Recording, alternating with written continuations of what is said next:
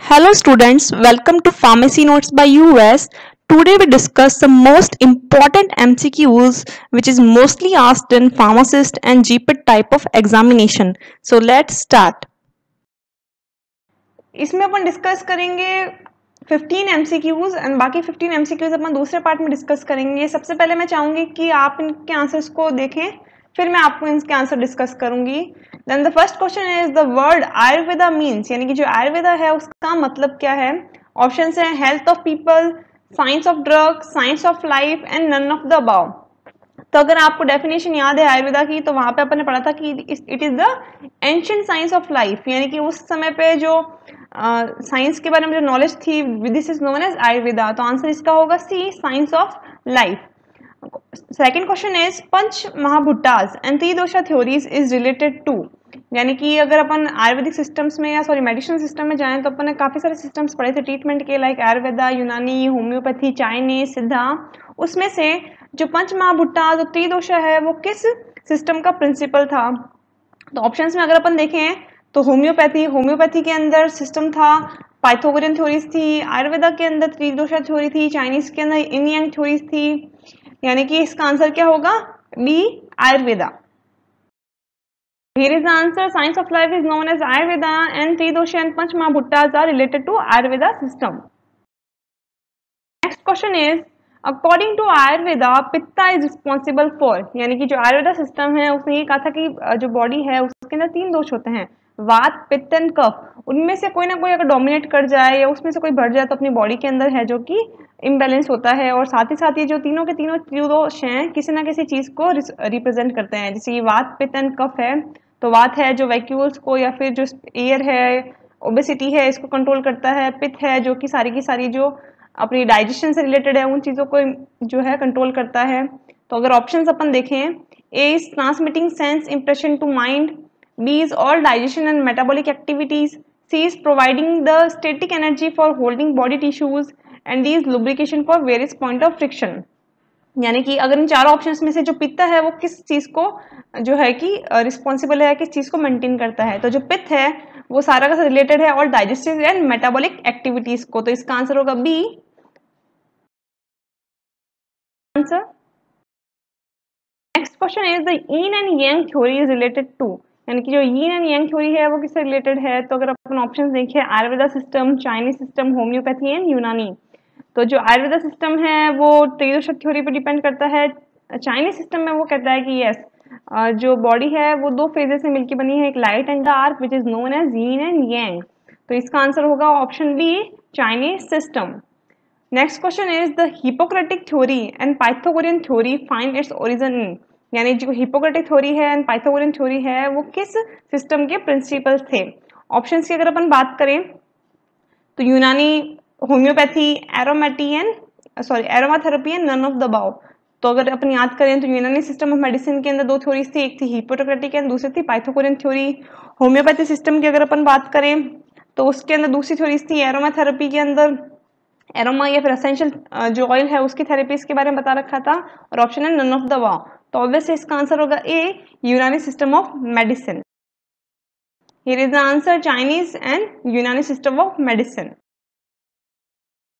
next question is the physician in Unani system is termed as यानी कि जो Unani system था अरेबियन सिस्टम था, उसमें जो ट्रीटमेंट करते थे, उन्हें क्या कहते थे? ऑप्शन है pharmacist doctors hakims and none of the above but जो यूनानी सिस्टम था, वो काफ़ी ये जो मुगल्स थे, उस समय का है अरेबियन सिस्टम से रिलेटेड करता है तो उस समय पे जो फिजिशियन थे, जो कि ट्रीटमेंट किया करते थे, उन्हें हकीम बोला जाता था तो इसका आंसर होगा C hakim next question is who developed the homeopathic system of medicine यानी कि जो होम्योपैथिक मेडिसिन सिस्टम है, उसको किसने डेवलप किया था? ऑप्शन हैं Serturner Hippocrates none of the above and doctor Samuel Christian Friedrich Hahnemann तो ऑब्वियसली इसका आंसर होगा, ए, जो डॉक्टर सोमरस क्रिश्चियन फ्रेडरिक हैनमन थे, उन्होंने होम्योपैथिक सिस्टम है जो कि डेवलप किया था।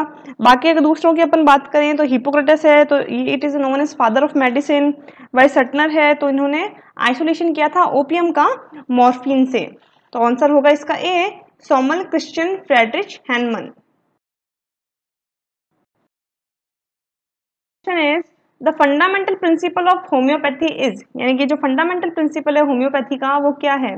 तो अगर आपको याद हो होम्योपैथी जो फ्रेडरिश ने दी थी, उन्होंने ये कहा था कि इसके अंदर एक प्रूवर होगा और एक प्रूविंग होगा, यानी कि इसके अंदर अगर आप किसी भी पेशेंट को अगर बीमार होता है तो अपन उसको उसी तरीके के डिज़ीज़ ड्रग्स देंगे, जो कि किसी हेल्दी पेशेंट में देने पे उस तरीके के सिम्टम्स दे, जो कि डिज़ीज़ पर्सन में आ रहे हैं, यानी कि लाइक क्योर बाय लाइक तो अगर अपन ऑप्शन देखें disease can be treated by antibiotics unlike can be treated by like like can be treated by like and none of the above यानी कि ऑब्वियस है, जो प्रिंसिपल ऑफ़ होम्योपैथी रहेगा, वो रहेगा like can be treated by like यानी कि जो सेम ड्रग्स हैं, वो ही उस सेम बीमारी का इलाज करने में कामयाब रहेंगी। तो आंसर होगा इसका C like by like next question is the concept of proving and prover is related to option है Ayurveda homeopathy aromatic and Chinese therapy तो ऑब्वियस है लाइक क्योर बाय लाइक जो थेरेपी थी या या जो प्रूविंग एंड प्यूवर है, यानी कि एक ड्रग है जो प्रूव कर रही है और प्रूवर यानी कि जो हेल्दी पर्सन है वो। तो ये जो रिलेटेड सिस्टम होगा वो कौन सा होगा? B homeopathy Here is the answer. Like can be, like treated is known as homeopathy. Principle and proving and prover is based in concept of homeopathy. Next question is who coin the term aromatherapy यानी कि जो aromatherapy थी, जिसके अंदर essentials oil से है, जो कि ट्रीटमेंट किया जाता था बेसिकली जो मेंटल हेल्थ है, उसको क्योर किया जा रहा है। तो उसके जो जो टर्म है, वो किसने दी थी? ऑप्शंस हैं Rene Maurice Gattefosse in 1928 Theophrastus in 1930 Cavot in 1925 and Hookers in 1920 जो रीनी मोरिक्स था, उन्होंने 1928 के अंदर जो टर्म है एरोमेथी वो एरोमाथेरेपी वो है जो कॉइन की थी तो इसका आंसर होगा A Rene Maurice. Next question is aromatherapy provides the treatment by using यानी कि जो एरोमाथेरेपी है, उसके अंदर कौन सा है जो कि मॉलिक्यूल दिया जाता है ट्रीटमेंट के लिए? ऑप्शन है tannins essential oil resins alkaloids तो ऑब्वियस जो परफ्यूमिंग ऑयल्स होते हैं, यानी कि जिसमें वॉलेटाइल नेचर की स्मेल है जिसमें essential oils like clove oil हो गया लेवेंडर ऑयल हो गया रोज ऑयल हो गया, इनसे जो कि ट्रीटमेंट किया जाता है तो इसका आंसर होगा B essential oils Rene Maurice coin the term aromatherapy and essential oil use in aromatherapy treatment question is aromatherapy can be effected by यानी कि जो एरोमाथेरेपी है, वो कहाँ पे इफ़ेक्ट की जा सकती है? तो ऑप्शन है लोकल मसाज दी जा सकती है वोल बॉडी मसाज दे सकते हैं एरोमिक बाथ एंड इनहेलेशन दिया जा सकता है and D is all of the above तो जो एरोमाथेरेपी है, वो तीनों पे ही अप्लाई होती है, इससे बाथ भी दी जाती है, पूरी बॉडी मसाज भी है लोकल मसाज भी की जाती है। तो इसका आंसर होगा D all of the above question number next is the book entitled the secret of life and youth is authored by यानी कि जो बुक है the secret of life and youth वो किसने लिखी थी? ऑप्शन है walnut Bill Clinton Maury and George Bush और वैसे बाकी आप नाम देखोगे तो आपको प्रेसिडेंट्स के नाम देखने को मिलेंगे। इसका आंसर है C Maury answer all of Ben Maury and authorise the book the secret of life and youth next question is which of the following is not the one of the element of panch mahabhutas? अगर पाँच महाभुट्टास की अपन बात करें तो आयुर्वेदा में पाँच elements बताए थे उन्होंने कहा था कि जो पूरी यूनिवर्स है, इन पाँच कॉन्स्टुएंट से मिलकर बनी है। और वो कॉन्स्टुएंट कौन कौन से थे? जल, वायु एयर अग्नि एंड पृथ्वी। तो अगर ऑप्शन देखें तो इनमें से कौन सा ऑप्शन है जो कि नहीं है? तो ऑप्शन है पृथ्वी फॉरेस्ट जल एंड वायु। यानी कि इनमें से which is not the one of the element इनमें से कौन सा एलिमेंट पंच महाभुट्टास में नहीं आता है? तो ऑब्वियस आंसर होगा B forest next question is the power of substance obtain by calcination is known as यानी कि वो पाउडर जो कि कैल्सिनेशन प्रोसेस से मिलता है, उसे क्या कहते हैं? तो ऑप्शन अगर अपन देखें, चूर्ण प्रास गुगलू एंड भस्मास. तो ऑब्वियस है, जो भस्म होती है, यानी कि राख, वो कैल्सिनेशन की प्रोसेस के थ्रू बनती है तो इसका आंसर होगा डी भस्म. Forest is not a part of Panchmahabhuttas and Bhasm is obtained by the calcification process.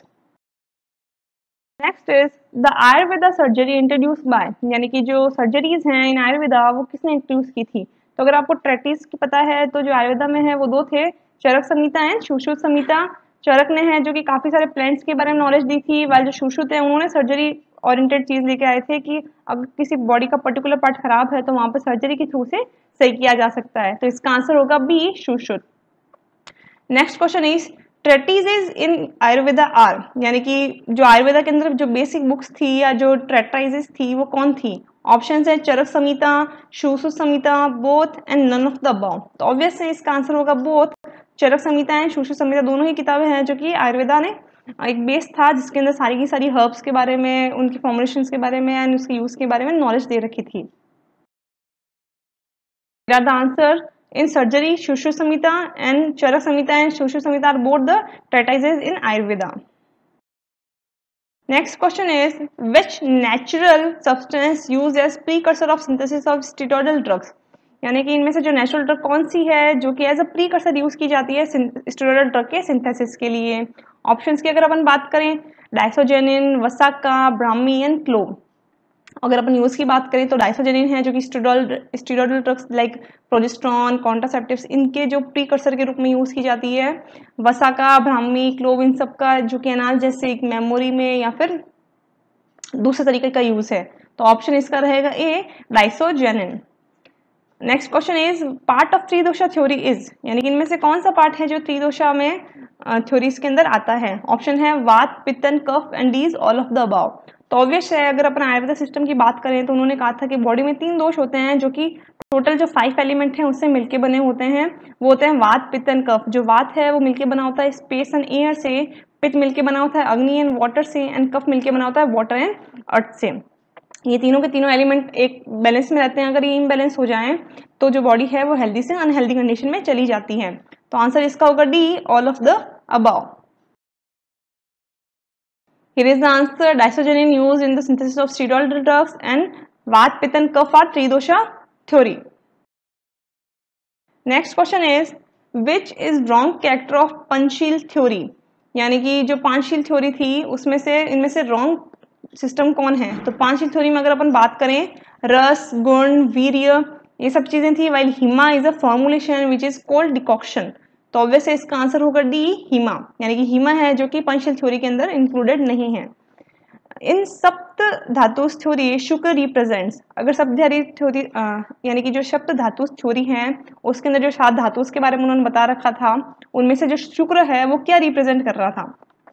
Option है bone blood reproductive system and none of the above obvious है जो शुक्र है, वो रिप्रोडक्टिव सिस्टम को डिनोट कर रहा था तो इसका आंसर होगा C reproductive system the answer Hema is not in Panchil theory and reproductive system is also known as Shukra in Sabdhatus theory.